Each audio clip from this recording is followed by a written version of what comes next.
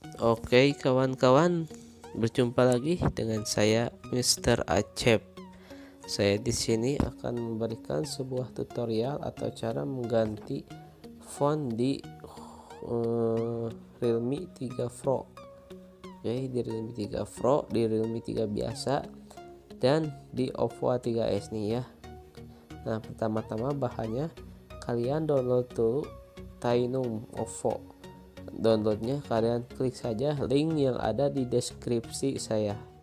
Setelah itu kalian klik eh kalian klik maaf kalian download AVK editor. Itu AVK editor ada di Play Store.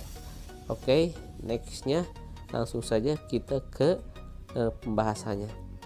Pertama-tama kalian masuk ke Tainum Oppo ya. Setelah kalian download di link deskripsi saya kalian klik Tainum Oppo. Eh, setelah itu kalian klik jauh Typhon setelah itu saya pakai Chrome aja ya. Setelah itu kalian download eh, jauh Typhon AVK nih kalian download klik yang di pojok kanan kalian pilih save to device karena saya sudah downloadnya. Nah nanti kalian cari uh, file yang di download itu. Nah setelah itu uh, sebelum kalian cari file itu kalian setelah kalian download file itu kalian masuk ke AVK editor. Setelah masuk ke AVK editor kalian pilih yang paling atas ini klik. Setelah itu nanti bakal ada tulisan jauhi telepon atau nanti kalian cari di tempat mana kalian download. Karena tadi eh, kalau misalkan kita download di bagian Chrome pasti ada di bagian download ya. Setelah itu ada ini APK nya setelah itu kalian klik jauhi typhon. Setelah itu kalian klik simple edit. Setelah kalian klik simple edit kalian masuk ke aset kalian masuk ke font. Nah setelah itu kalian klik yang ada tanda pensil ini.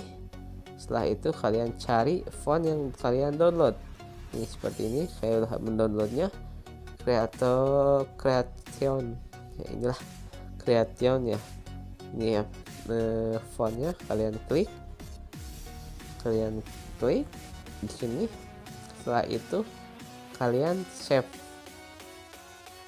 Save setelah save kalian tunggu beberapa detik. Setelah kalian stay, uh, uh, save kalian remove uh, bukan dan install.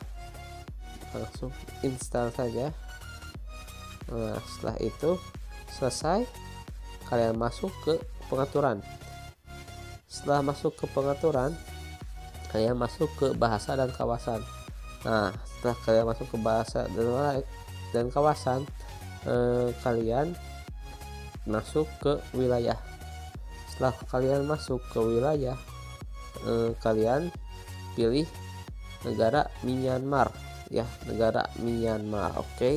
setelah itu kalian masuk ke layar dan kecerahan nah di sini ada eh, kata-kata mendukung karakter die nah kalian klik saja setelah itu otomatis si eh, font atau huruf berubah secara otomatis. Nah ini juga kalian harus perhatikan jamnya nih. Jam ini berubah jadi jam 11 nah kalian masuk saja ke sini lagi ke bahasa dan kawasan. Apa bukan. Ke pengaturan tambahan tanggal dan waktu.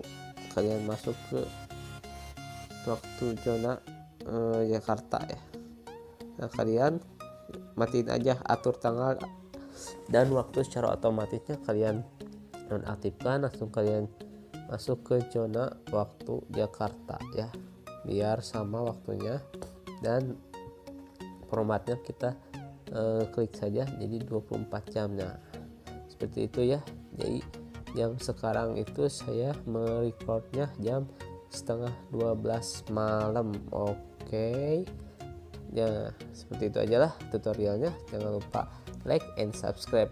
Bantu saya ke 1000 subscriber. Nanti ada giveaway oke? Okay? salam jumpa Mas Por Assalamualaikum warahmatullahi wabarakatuh